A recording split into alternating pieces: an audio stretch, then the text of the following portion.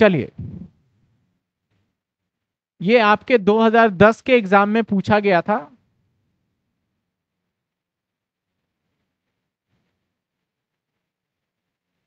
बहुत नुकसान हो रहा है आप सभी का।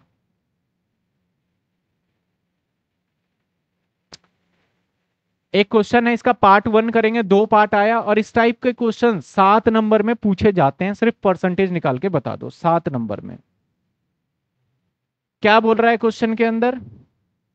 कि company limited planning to raise hundred crore इसने डिसाइड किया हुआ है प्लानिंग किया हुआ है कि सौ करोड़ रुपए है। इशू थर्टीन परसेंट डिबेंचर और कैसे तेरह परसेंट इसने डिबेंचर इशू करना है? दस रुपए डिस्काउंट पे या दस परसेंट डिस्काउंट पे। और अंडर राइटर एक्सपेंस चार परसेंट। और हमारा एक खर्चा होगा। अंडर राइटर मतलब जो हमारे डिबेंचर वगैरह बिकवाता है, उनके लिए पेमेंट करना होता है। That is underwriter expense तो अंडर राइटर एक्सपेंस चार रुपए, चार percent. Find out the cost of debenture each of the following cases if debenture are irredeemable तो अभी जो हमने सीखा है, मेरे हिसाब से ये इरिडीमेबल का पार्ट चल रहा है। तो यही फॉर्मूला लगा के हम फ़र्स्ट पार्ट को कर लेते हैं। तो सर, आपको क्या निकालना है? के डी निकालना है सर। के डी का फॉर्मूला क्या है? वन इंटरेस्ट वन माइनस में टी और डिवाइडेड बाय एनपी इंटू में हंड्रेड सर एनपी पहले निकाल दू मैं? एनपी की बात करें तो एनपी क्या है सर? एनपी है हमारा यहाँ पे सौ रुपए का एक था। अब यहाँ पे देखो डिबेंचर का हाँ फेस वैल्यू सौ रुपए का एक है माइनस दस रुपए का डिस्काउंट और माइनस चार परसेंट किसके ऊपर? फेस वैल्यू के ऊपर। तो माइनस चार रुपए। तो नेट प्रोसिट्स कितना होगा? यानी आपके पास जो पेमेंट आएगा अल्टीमेटली एक डिबेंचर पे। आपको पूरे सौ करोड़ पे नहीं निकालना। आप एक डिबेंचर पे निकाल लो, चाहे आप दस हज़ार डिबेंचर पे निकाल लो, बात वही है। ठीक है ना? एक डिबेंचर पे निकाल। तो एक डिबेंचर पे हमारे कितने पैसे आएँगे? नाइनटी सिक्स रुपीज़ अब यहाँ क्वेश्चन में कहीं भी टैक्स गिवन है, कह रखा है लास्ट में अज्यूम करो टैक्स कितने परसेंट है? पैंतीस परसेंट। अब फॉर्मूला लगा दे सर इंटरेस्ट कितना बनता है? इंटरेस्ट दस परसेंट है। हमेशा याद रखना interest calculate always on face value तो फेस वैल्यू कितना है सर हमारा? सौ रुपए। इसके ऊपर दस परसेंट का ब्याज कहाँ लिखा है? सॉरी तेरह परसेंट है। तेरह परसेंट, मैंने दस परसेंट गलत पढ़ लिया, तेरह परसेंट है। तो ब्याज क्या आएगा? थर्टीन ब्याज क्या आएगा? Thirteen one minus T one minus में टी क्या है? ज़ीरो पॉइंट पैंतीस परसेंट ऐसे लिख सकते हैं। डिवाइडेड बाय एनपी एनपी कितना है हमारा? नाइनटी एटी सिक्स आएगा। अच्छा। Eighty six eighty six eighty six into में हंड्रेड क्या आ गया परसेंटेज बताओ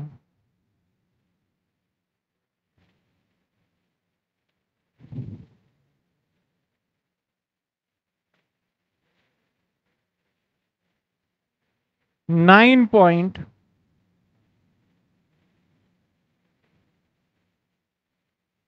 एक्चुअल आपका परसेंटेज जो पड़ा डिबेंचर का, वो nine point eight eight percent हालाँकि आप तेरह रुपए ज़रूर दे रहे हो, लेकिन टैक्स सेविंग वेविंग सब निकाल के आपको nine point eight two five percentage पड़ा।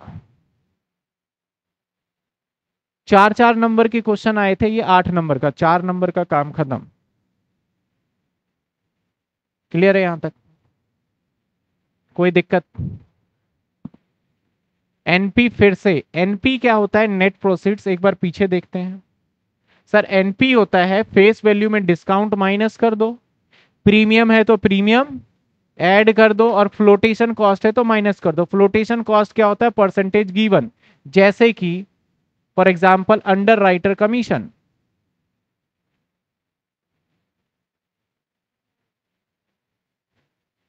मैं एड ऑन करता रहूँगा। जैसे कि बैंक चार्ज तो ये माइनस कर दो। तो मैंने भी क्या किया सर मैंने भी सौ रुपए फेस वैल्यू लिया, दस परसेंट डिस्काउंट माइनस किया, चार परसेंट फ्लोटेशन कॉस्ट था तो चार परसेंट इसके ऊपर निकाल के माइनस किया, बच्चा कितना? एटी सिक्स डिवाइड करके आंसर निकाल।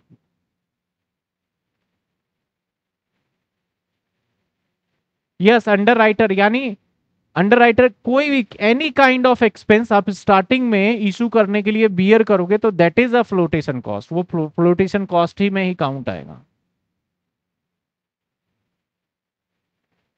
वन माइनस टी का मतलब होता है कि टैक्स को घटा दो, जितना आप टैक्स से सेविंग कर रहे हो। क्योंकि आप 35 परसेंट टैक्स तो बचा ही लोगे। इस खर्चे के ऊपर 35 परसेंट बचेगा तो अल्टीमेटली आपका खर्चा पैंसठ परसेंट बनेगा। तो हम यहाँ पे इसको पैंसठ परसेंट से इंटू कर रहे हैं, आप चेक भी करोगे तो। जितना टैक्स होता है, उतना सेविंग हो जाता है आपका, उस खर्चे के ऊपर। यानी खर्चा बढ़ेगा तो टैक्स भी बचेगा। खर्चा घटेगा तो टैक्स बढ़ेगा, जो कि हमें देना है। चलिए सर, अगले फॉर्मूले की तरफ़ चलें। नेक्स्ट फॉर्मूला क्या कहता है? रिडीमेबल अब रिडीमेबल में ना एक टेंशन है। फॉर्मूला पहले लिख देता हूँ। क्या कहता है रिडीमेबल में? यानी केडी इसको भी केडी बोलेंगे। इंटरेस्ट वन माइनस में टी ठीक है? इसके बाद plus RV minus NP divided by N RV plus N P divided by two ये एक छोटा सा फॉर्मूला है। जब कौन सा होगा? इरिडेमेबल अब लॉजिकली समझते ये फॉर्मूला ऐसा क्यों बन गया भाई? अभी तो आसान चल रहा था सब। सबसे पहले इनके जो शॉर्ट वर्ड लिखे हैं, उसको लिख देता हूँ। आरवी का मतलब है redeemable value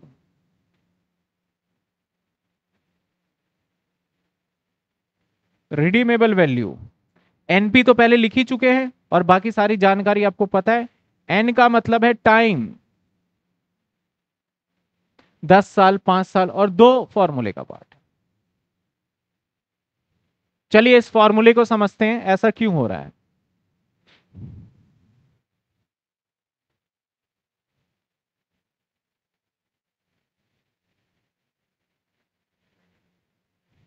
फॉर्मूला मैंने लिखा, मैं फटाफट लिख देता हूँ K D is equal to I one minus में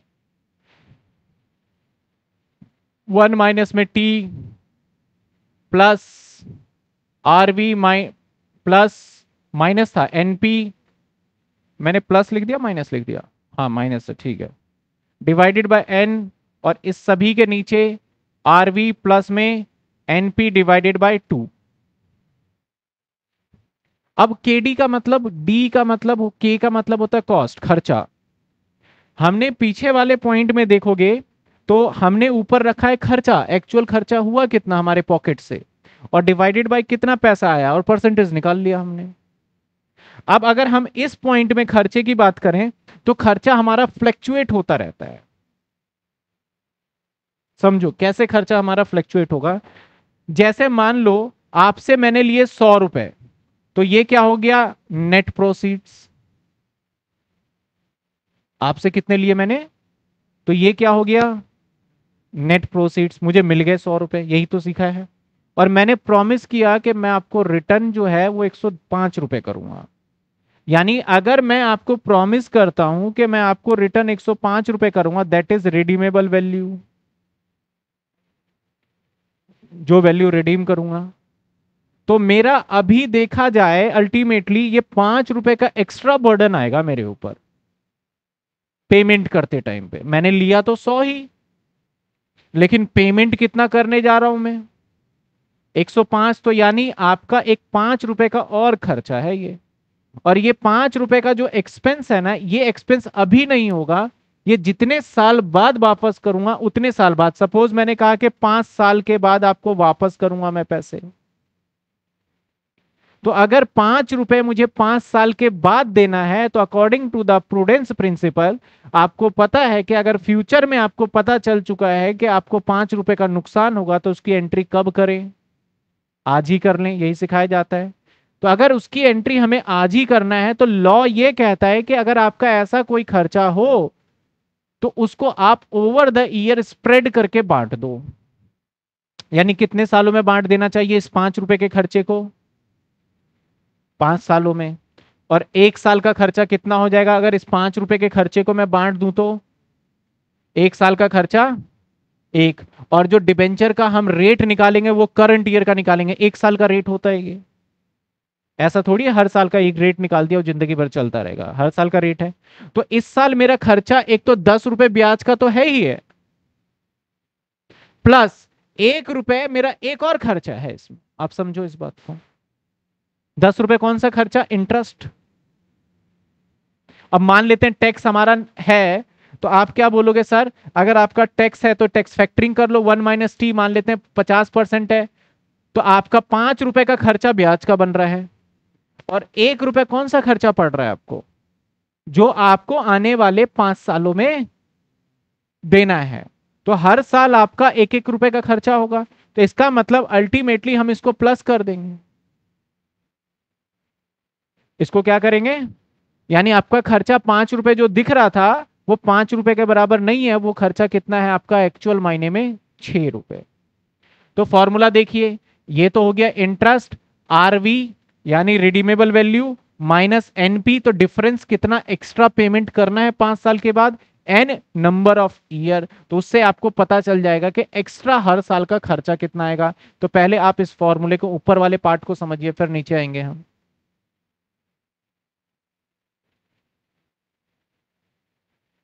सिंपल सी बात है ना, पाँच रुपए बोला इंटरेस्ट का लग रहा है सर, और एक रुपए और फ्यूचर में धीरे धीरे करके पेमेंट करेंगे तो ऐसे सिचुएशन में हमारा छह का खर्चा हो गया हर साल का तो। और सर, ये जो खर्चा है, वो एक साल का नहीं है। ये खर्चा जो है पाँच सालों में जाएगा। तो एक्चुअल जो आपका पेमेंट है ना, वो पेमेंट आप नीचे क्या रखते हो? नेट प्रोसीड्स तो नेट प्रोसीड्स आपको एवरेज लेना पड़ेगा। जब आपको ना डेटा दो टाइम का मिल जाए, एक आज का, एक कल का तो एक्चुअल आपको कितने का बेनिफिट हुआ उसको एवरेज करके निकालते हैं। तो इसका मतलब सर आरबी कितना था आपका? 100 और एनपी कितना था आपका? 100 सॉरी आरबी आपका है 105 और एनपी कितना है? 100 डिवाइडेड बाय टू एवरेज कर देंगे। दैट इज़ एक सौ दो रुपए पचास पैसे आपका यहाँ पे नेट प्रोसिट एक्चुअल माना जाएगा एवरेज बेसिस पे। और अगर मैं आपसे पूछूँ, अब कॉस्ट निकालो तो कॉस्ट बड़ा इजी से निकाल सकते हैं सर छह रुपए का खर्चा है छह रुपए समझ में आ रहा है कैसे खर्चा है? अब छह रुपए का खर्चा है और आपका कॉस्ट कितना है? एक सौ दो रुपए। इंटू में क्या कर दो?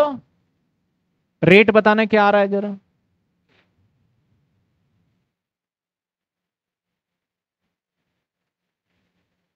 सर, ये आ गया five point eight five percentage अगर आपको ये बात समझ में आ गया तो फॉर्मूला आपको लगेगा, ये कुछ है ही नहीं फॉर्मूले में तो। ये वाला पोर्शन क्या है? अगर आप ध्यान से देखिए तो ये वाला पोर्शन क्या है? मैं बताता जाता हूँ। सर, ये वाला पोर्शन क्या है? ब्याज का खर्चा? ये वाला पोर्शन क्या है? एक्स्ट्रा बर्डन जो आएगा आपके ऊपर पाँच सालों में? और एन क्यों डिवाइड किया? एन क्योंकि हर साल का खर्चा आपको हर साल दिखाना चाहिए। और ये वाला क्या है आपका? एवरेज कितना है? तो मैंने यहाँ क्या करा? पाँच रुपए खर्चा इंटरेस्ट एक रुपए हर साल का और छह हो गया डिवाइड कर दिया तो इस तरीके से हमारा एक रेट निकल के आ गया। समझ रहे बात को?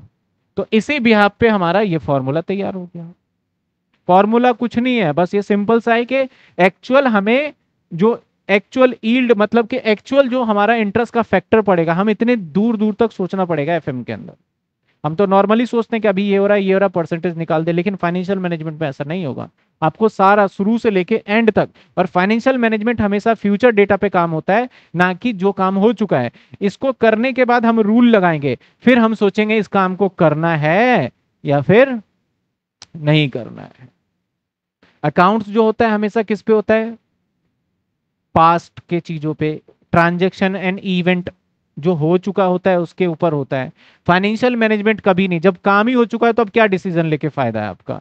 आपको पहले ही प्लान करना पड़ता है। तो हमेशा देखोगे ना क्वेश्चन में तो कंपनी प्लानिंग ये परपोज ये प्लान कर रहा है ये। तो हर बार इसमें कंक्लूजन इसलिए पूछा जाता है कि आपको काम करना चाहिए या नहीं करना चाहिए। तो ये फॉर्मूला बताइए, आपको समझ में आ गया। आरबी क्या है? रिडीमेबल वैल्यू जितने का आपका रिडम्शन करना है। अब रिडीमेबल वैल्यू ना, कई बार ना आप बच्चे बोलते हैं, सर, अगर रिडीमेबल वैल्यू आपका सौ रुपए से कम हुआ तो सौ रुपए से कम जनरली होता नहीं है। आपसे मैं सौ रुपए ले लूँ और मैं बोलूँ, आपको वापसी नब्बे दूँगा तो आप पैसे ही नहीं दोगे मुझे। वापस करने का मतलब रिडीमेबल वैल्यू और मैं आपसे बोलूँ, सौ आज दे दो और पाँच साल के बाद नब्बे दे दूँगा मैं आपको। तो आप मुझे पैसे दोगे क्या? तो रिडीमेबल वैल्यू आपका सौ से नीचे जनरली नहीं जाता है, हमेशा सौ के बराबर ही रहता है। लेकिन हाँ अगर सवाल में दे दे सौ से नीचे तो हम माइनस करके निकाल देंगे। कुछ एक क्वेश्चन में आ गया था पेपर में, अब वो टेक्निकली क्वेश्चन गलत था क्वेश्चन पेपर के अंदर।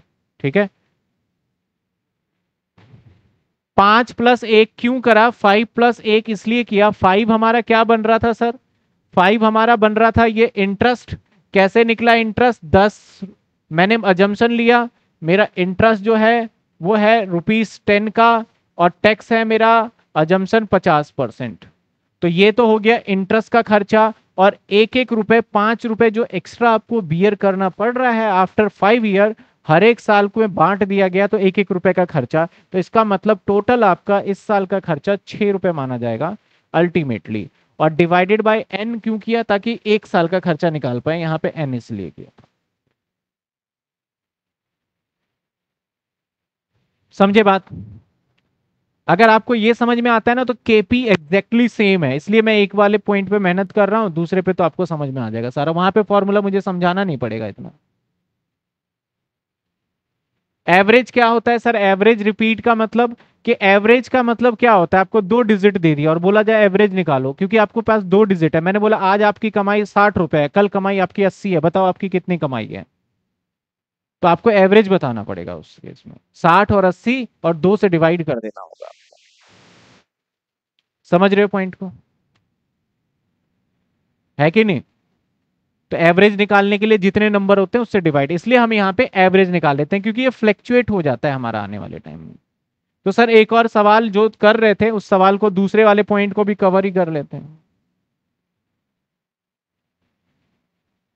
Point number two sir formula एक बार और लिख देता हूँ।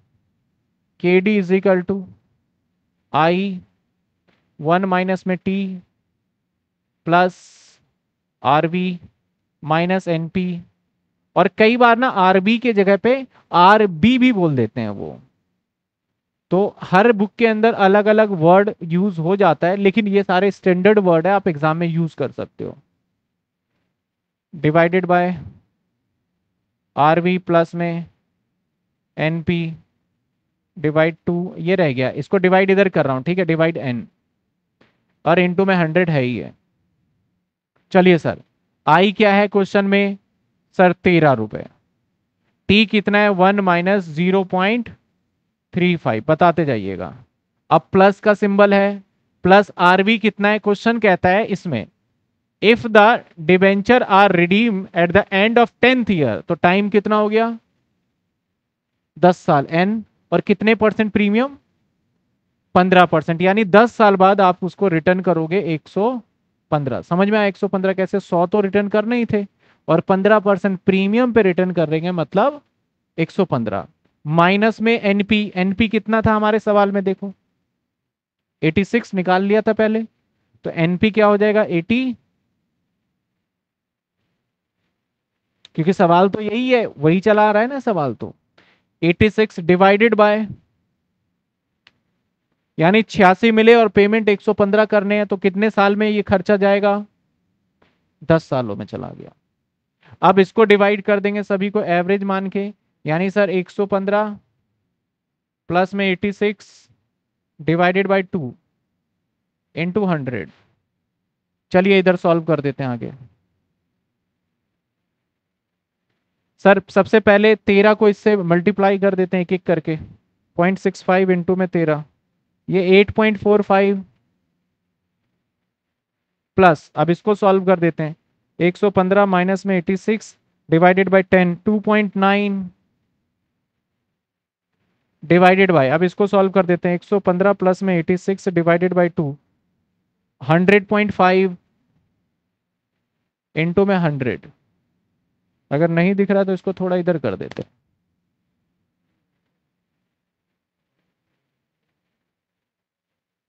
तो ये आ गया हमारा 8.45 प्लस में 2.9 डिवाइडेड बाय 100.5 सर, रेट जो आया ना, इफ़ेक्टिव रेट, इसको इफ़ेक्टिव रेट भी बोल सकते हैं। 11.29 इसको 30 भी बोल सकते हो अप्रोक्सीमेट कोई दिक्कत?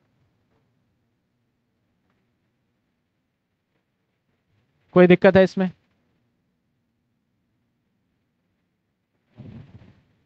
कैलकुलेट कर लीजिए।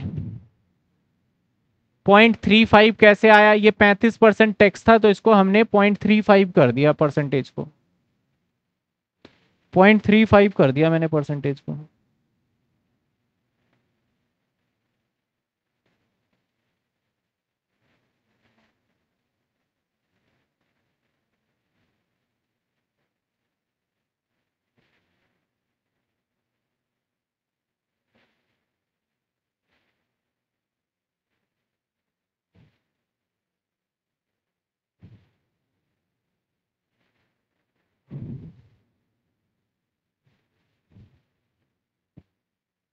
टेन ईयर है N time. Yes, ten year तो एन टाइम ही है।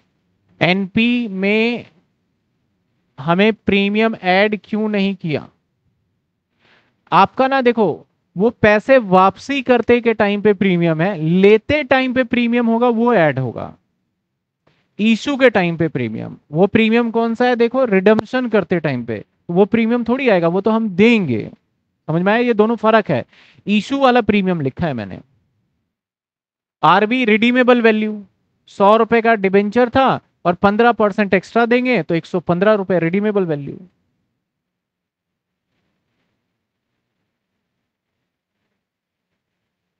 आपने दो लिए हैं। दो लिए हैं, मैंने दो क्या लिया है इसमें? डिवाइडेड बाई दो, ये तो फॉर्मूले का पार्ट है। एवरेज निकालने के लिए दो डिवाइड करते हैं हम। दो साल नहीं है, ये दो है, साल तो अच्छा यहाँ पे साल में दो। सही तो ये एन है, ये दो तो फॉर्मूले का ही पार्ट है।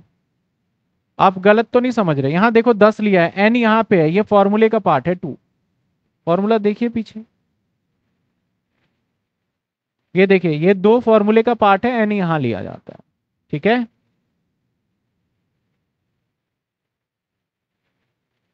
कोई परेशानी है तो बताइए, इसमें कोई समझ में आ गया क्लियर है ये? सौ प्लस में पंद्रह। पंद्रह परसेंट हमें वापस करना है तो पंद्रह परसेंट हो गया प्रीमियम और सौ रुपए का डिबेंचर था। अब काफ़ी बच्चे पूछ रहे हैं, एक सौ पंद्रह कैसे आया? देखो फेस वैल्यू हमारा सौ रुपये और इसे रिडीम करना है एट पंद्रह परसेंट प्रीमियम पे। ये सवाल में गीवन है लाइन तो एक सौ पंद्रह बन गया ये। ठीक है?